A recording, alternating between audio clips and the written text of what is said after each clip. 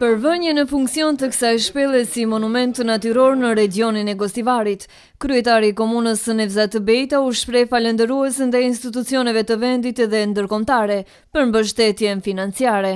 Kjo është një prej shpellave të rralla që ia ka falun natyra në nivelin nacional të vendit tonë,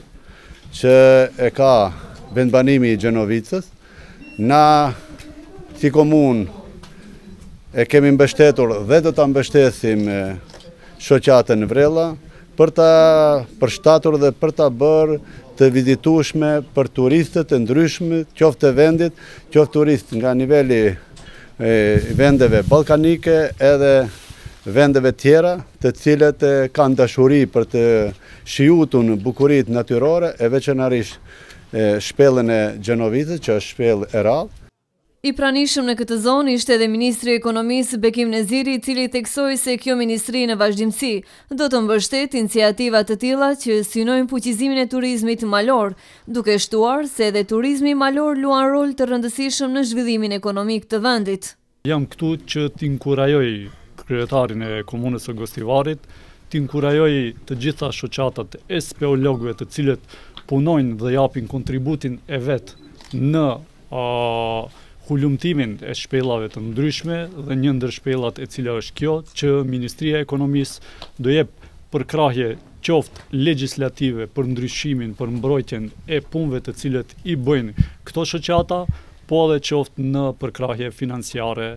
të aktiviteteve të këtilla. Pajtim Saiti, përgjegjës i Zyrës për Zhvillim Ekonomik Lokal dhe Implementim Projektesh në Komunën e Gostivarit, tha se është hera e parë pas pavarësisë së Maqedonisë që në mënyrë të organizuar dhe me profesionistë do të hulumtohet Shpella e Gjonovicës, që paraqet një prej resurseve më të bukura natyrore në territorin e Komunës së Gostivarit. Hulumtimet e para në shpellë kanë filluar në vitet e 50-ta dhe atëherë kanë arritë të depërtojnë deri në 400 mesh, 400 metrishin e parë. Në vazhdimësi deri në vitet e he, herta të 80-tave, shpella ka hulumtuesit kanë arritë të depërtojnë deri në 1 kilometër që dihet deri më tani që kjo është gjatësia e, e shpellës.